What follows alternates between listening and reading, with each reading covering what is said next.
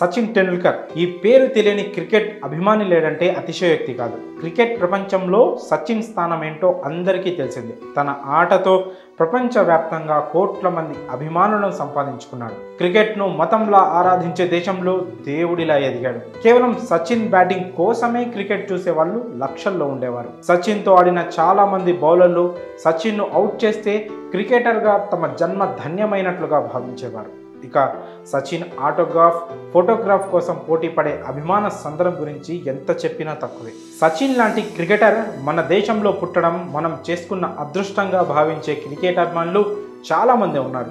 అయితే సచిన్ను మించిన క్రికెటర్ కూడా మన దేశంలో పుట్టాడంటే నమ్ముతారా? కానీ ఇది నిజం. సచిన్ కంటే ముందే టీమిండియాకు ఆడి సచిన్ కంటే గొప్ప క్రికెటర్గా ఎదగాల్సిన అతను దేశానికి ఆడకుండా వెలుగులోకి రాకుండా ముంబై మురికివాడల్లోనే మిగిలిపోయాడు. ఇప్పుడు ఆ క్రికెటర్ గురించి మనం తెలుసుకుందాం.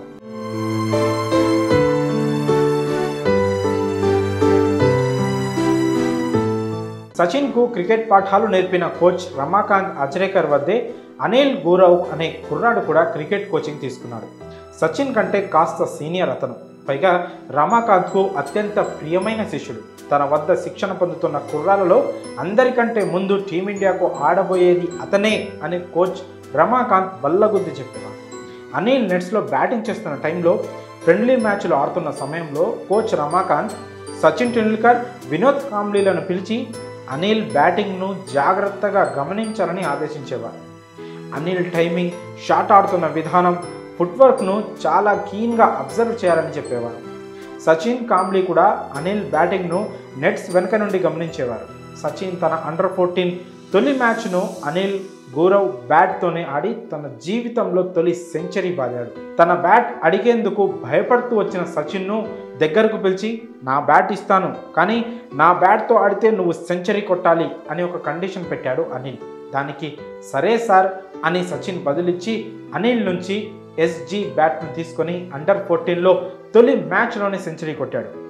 ఇలా అనిల్ బ్యాటింగ్ చూసి టెక్నిక్స్ నేర్చుకొని అతన్ని సార్ అని పిలుస్తూ అతని బ్యాట్తో జీవితంలో తొలి సెంచరీ కొట్టిన సచిన్ ప్రస్తుతం ప్రపంచ దిగ్గజ క్రికెటర్గా ఎదిగితే అనిల్ మాత్రం ముంబై మురికివాడల్లో మిగిలిపోయాడు.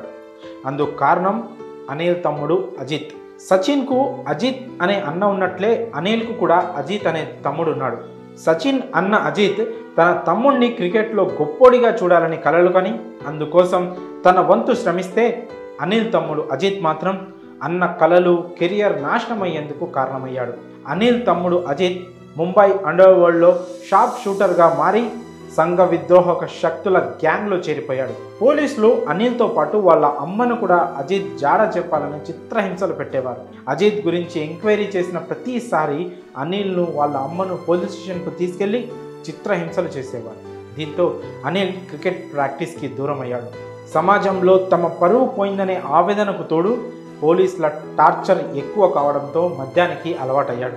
మెల్లమెల్లగా దానికి బానిసగా మారి తన క్రికెట్ కెరియర్ దేశం తరపున ఆడాలనే కలను మర్చిపోయాడు. అప్పుడప్పుడు డబ్బుల కోసం టెన్నిస్ క్రికెట్ కూడా ఆడాడు. టీమిండియాకు ఆడతాడనుకున్న కుర్రాడు ఇలా మత్తుకు బానిసై చిల్లర డబ్బుల కోసం టెన్నిస్ క్రికెట్ ఆడుతుండడం చూసి తట్టుకోలేకపోయిన కోచ్ రమాకాంత్ అనిల్ను అందులో నుంచి బయటపడేయాలని గట్టిగానే వారించారు.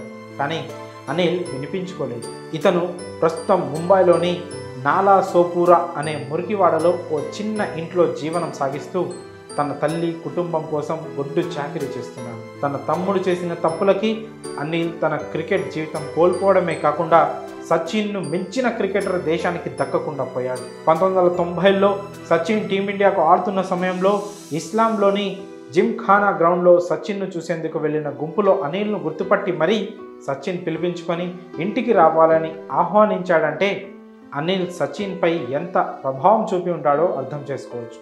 ఎంత టాలెంట్ ఉన్నా కుటుంబ మద్దతు మంచి నేపథ్యం లేకపోవడంతో సచిన్ అవ్వాల్సిన వ్యక్తి కాదు కాదు సచిన్ను మించిన క్రికెటర్ అవ్వాల్సిన వ్యక్తి సాధారణ అనిల్లా మిగిలిపోయాడు. మరి కన్నీళ్ళు పెట్టించేలా ఉన్న అనిల్ గౌరవ్ జీవితంపై మీ అభిప్రాయాలను కామెంట్స్ రూపంలో తెలియజేయండి.